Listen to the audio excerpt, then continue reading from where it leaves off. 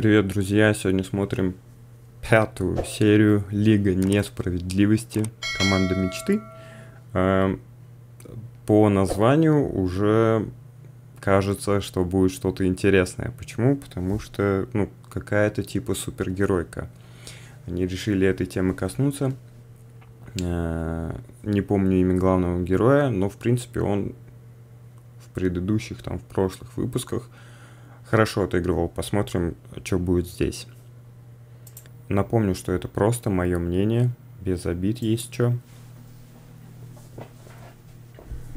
Вы же, собственно, за этим и пришли. Посмотреть реакцию, послушать мое мнение.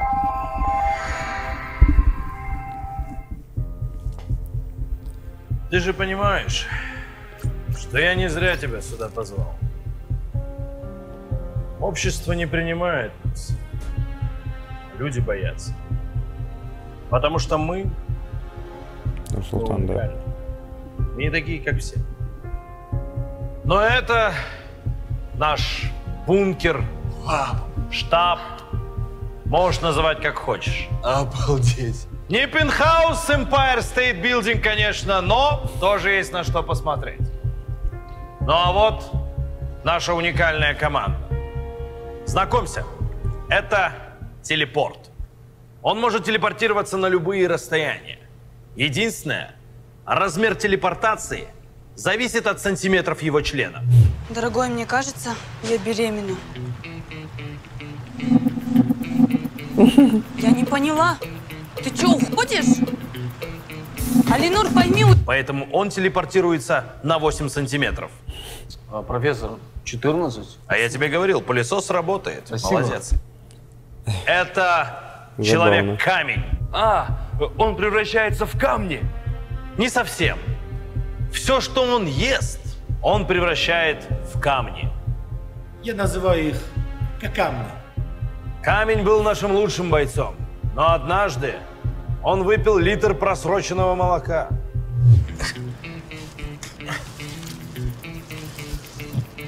Пацаны, у меня понос оказывается. Пока вот это возьмите. Сейчас я камни сделаю. Кто опять за собой камни не смыл? О, это уникальный персонаж. Человек-сова. Однажды ночью он возвращался к себе домой, и ему в голову ударила молния. И теперь у него вместо глаз приборы ночного видения. Правда, работают они только днем. Я думал, он превращается в сову. Нет. Но был у нас такой супергерой, который мог превращаться во все, что угодно. Он мог становиться лошадью,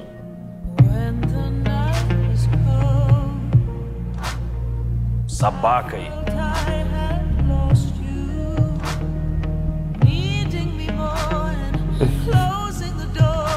ящерицей.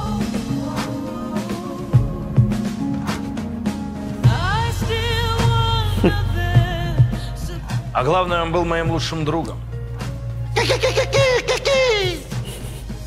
Вот такие дельфиньи песни он пел мне по ночам. Но однажды на Курбан-Байрам он превратился в барана, и я этого не заметил.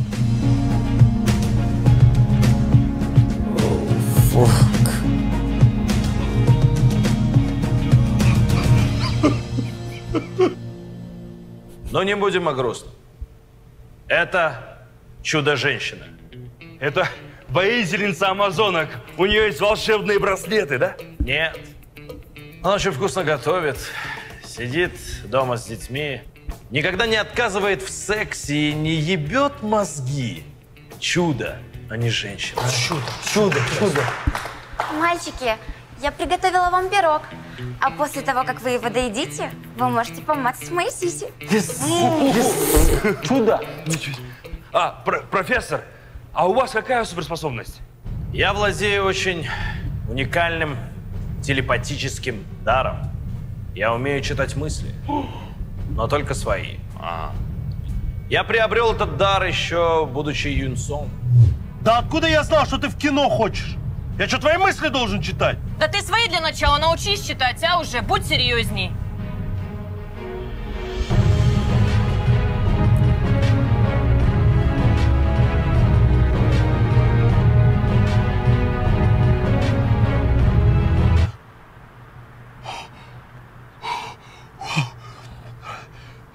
Хлеб. Хлеб.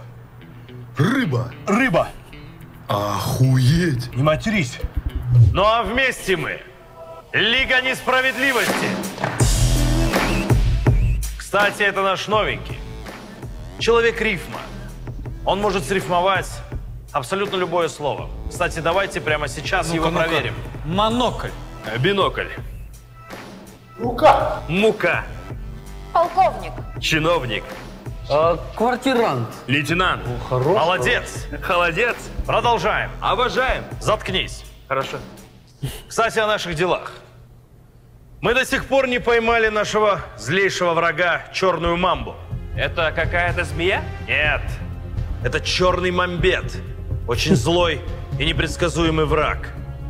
Но сегодня мы обязательно его настигнем. Профессор, разрешите мне на первое задание пойти вместе с командой? Нет. Твои способности нужно еще развивать. И как ты понимаешь, ты новичок. Мы не можем допустить еще одной ошибки и потерять бойца. Так что ты останешься здесь. Есть какие-нибудь зацепки по черной мамбе? Есть, профессор. Мы вышли на его след. Хм, нужно отправляться немедля. Мальчики, я приготовила вам сэндвичи в дорогу. Чудо, чудо, чудо. Где это находится? В парке. В парке. Вот его следы. Он где-то рядом. Нужно идти по следам.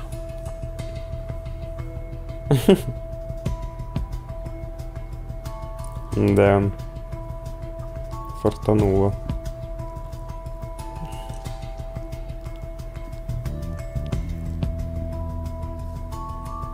Э, вы что, меня ищете? Черная мамба!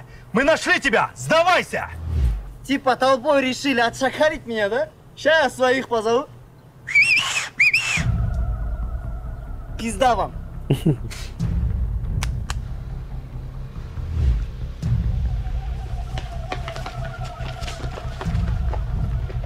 И что вы сделаете?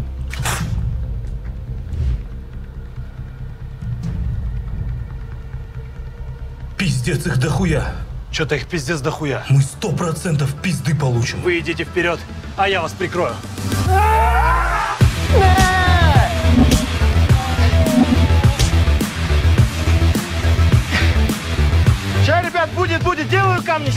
Минуточку.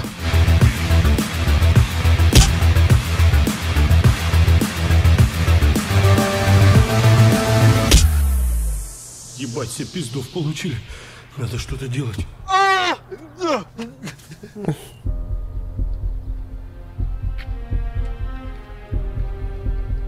Эй, я же говорил вам, что я вас разъебу. Малибу!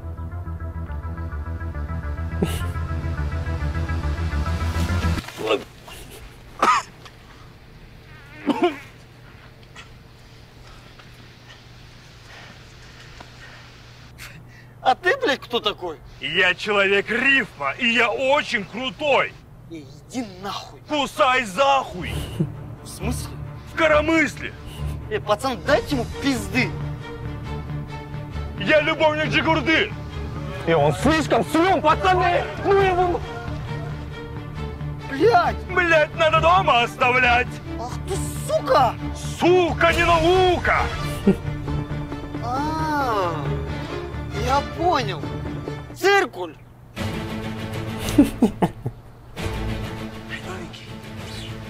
Используй его оружие против него самого. Нет, нет рифма на слово циркуль. И тебя разъебал. Хуирку. Так же нельзя. Нельзя. Нет такой рифмы. Хуирфы. Нет. Хватайте его! За ним. Общество нас не признает, а многие даже боятся. Потому что мы, мы не такие, как все. И называем мы себя супергерои. Сегодня, благодаря нашей сплоченности, хитрости, уверенности в себе и нашего новенького, мы победили очередного врага. А то, э, я, я извиняюсь, профессор. Да. Уровень пиздобольства зашкаливает. Он вернулся. Кто? У него член 35 сантиметров. Он спал с 35 женщинами. А еще он всегда возвращает долги. Да кто он такой? Человек пиздобол. Волейбол. Соберитесь, у нас новый враг. Лига несправедливости. Сопливости. Ну ты заебал. Реально. Ну что за сопливость? Че говоришь, братишка? Есть жилка сразу следующий выпуск посмотреть? Ну тогда переходи по ссылке в описании и все, в ютубе, как она есть. Как она есть. Так, опять же, главный герой здесь у нас Ростислав. Я, наверное, каждую серию буду это говорить.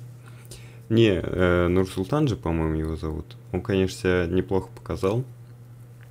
Забавно было, когда он вышел. Э, Весь выпуск ждал, в общем, когда он прям будет... Когда он себя проявит вообще. И это произошло под конец только. А пол выпуска у нас было знакомство с командой. И вот это минус огромный. Типа, видос идет 11 минут, и пол выпуска здесь только знакомство. Причем не всегда там было прикольно. Вот. И главный герой у нас проявляет себя только под конец, и то там на чуть-чуть буквально, вообще очень мало. Минуту, может, полторы-две. Сделали бы они подлиннее выпуск, было бы как-то интересней. Вот. Ну, не раскрыли особо, короче, персонажа и так далее. Их как-то ограничивают, что ли, я не знаю. Этот, э, им надо обязательно короткие видосы пилить или что, я не понимаю. Типа раньше были вообще по 20 минут и все было ок. Сейчас это до до 11, до 12 максимум, походу.